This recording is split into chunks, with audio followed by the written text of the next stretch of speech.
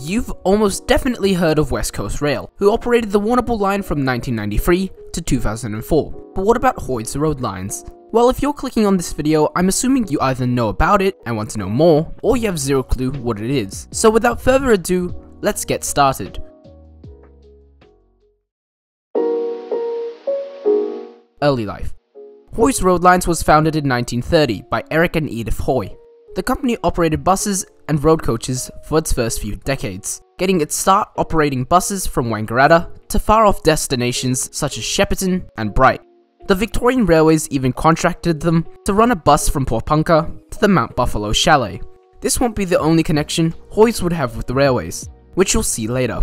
Hoy's also ran a bus service to other places in the Ovens Valley, such as Kiewa and Mount Beauty. With Helen Watson now leading the company, it quickly expanded, into also doing charters, school bus runs, and even department contracted services, such as a daily Albury to Adelaide via Melbourne bus, called Speedlink, with Hoy's Road Lines being a sort of innovator and pioneer in its field of road coaches. In 1979, the newly formed company Deluxe Coach Lines hired coaches from Hoy's to help operate their Sydney to Perth via Melbourne and Adelaide service. When the Bright Line was closed in 1987, the bus service to the Mount Buffalo Chalet was extended back to Hoy's place of origin, Wangaratta.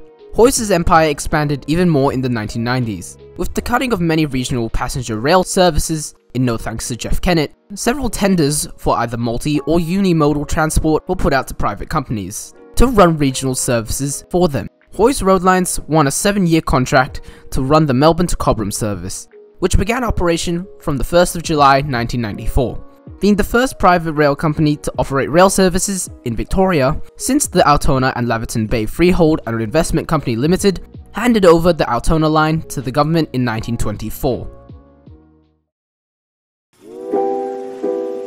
Contractual requirements. Hoy's accepted two contracts, the first being with the Department of Transport, which mandated them to provide a public transport service up to standard, and being paid an agreed rate per passenger per sector. The sectors being Melbourne to Seymour, Seymour to Shepparton, and Shepparton to Seymour. The second contract drawn up was a contract with V-Line to supply them with locomotives, driving crews, carriages, as well as maintaining locomotives, driver safe working training, the implementation of safe working, and also food and catering services.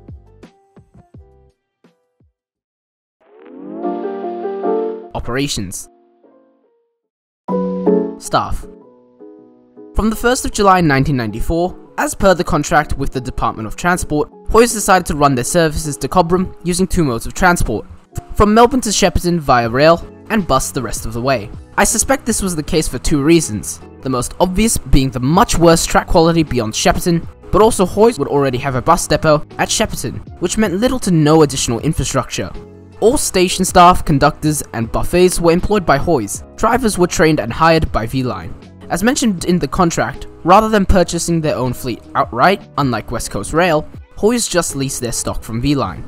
Hoy's employed 11 staff, with over half of them being former V-Line employees. The former V-Line employees included the Shepparton station master, two station staff, and five conductors, all trained by V-Line in safe working.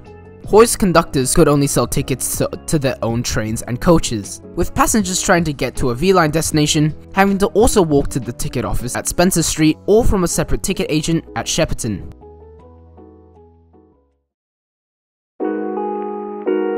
Services Hoy's would be obligated to run 26 services per week. These would be made up of two return services from Melbourne to Shepparton and one return service from Shepparton to Cobram from Monday to Saturday each week. And on Sundays, only one return train would operate, making up the obligated 26. They would be connecting buses at Cobram with other buses, and some of the bus services to Cobram would be extended to Tocumwal. Trial bus services were implemented for six months to Finley and Berrigan in New South Wales, which both proved to be unsuccessful with a service to Griffiths added later. Hoy's was also in charge and served the usually unmanned stations at Nagambie, Murchison East and Mooroopna. Trains usually made the journey in 2 hours and 15 minutes, stopping at Broadmeadows, Seymour, Nagambie, Murchison East, Mooroopna, and Shepparton, which is actually faster than V-Line by about half an hour. Around 80 to 100 people would disembark or get on at Shepparton, and another 160 to 200 along the corridor. By 1995, a 5.5% increase in patronage was recorded, with an average of 188 people, which was relatively in line with patronage growth as a whole. Advertising was put up around the same time the service was reintroduced, with some locals believing it was fully cancelled.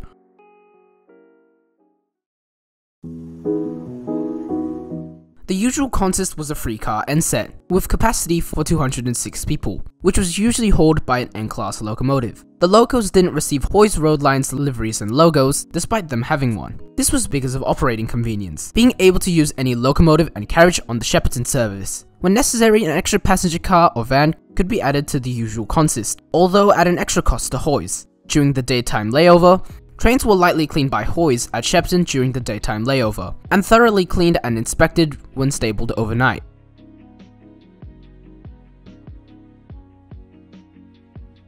End of rail. The initial contract ended in June 2001, but it was extended a further three years. During the time the contract was in place, V-Line was privatized and was taken over by National Express in 1999, with the contractual obligations fulfilled by National Express. They withdrew in 2002, and V-Line was given back to the state. In August, the state started negotiating with Hoys to extend their contract to 2006, but this was never followed through on. V-Line resumed operations of the Shepperton line and Cobram coach on the 30th of June 2004.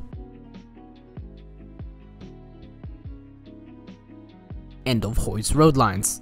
Hoys Road Lines ceased operation in 2005, after 75 years of operation. The company began to crumble, beginning with the loss of the rail contract. The Adelaide to Albury bus service was purchased in August 2004 by Dyson, with the rest of their operations and routes sold to V-Line in June 2005. What remains of Hoys today? After the V-Line buyout, they took to work basically doing nothing to the rolling stock and stations. I'm not sure what happened to the staff, but presumably they all got hired back by V-Line. Today, V-Line still serves the same stations as Hoys. Some of the Northeast Mainline stations added, and a couple of the Shepton Line stations rebuilt as part of the Regional Rail Revival project. Frequency and patronage on the line has also been given a major boost, with 5 return trains per day, from Monday to Friday. Until 2022, N-sets were used on the line, being extended to 5 cars per service rather than 3. Today the service is run either one free car or a pair of free car VLocities. V-Line still runs a coach to Cobram, which now all have been extended to Tocumwal. A coach also runs to Griffiths, which does also stop at Finley. Inside the Shepperton station building was a Hoys Road Line branded clock, which seemed to be replaced sometime after 2008. Thanks for watching this video about Hoys Road Lines. I hope you all enjoyed it. This is a shorter video as I have a few longer videos coming out in the coming weeks. If you have any suggestions on what topic I should cover next, then leave them in the comments below. If not, I'll see you later.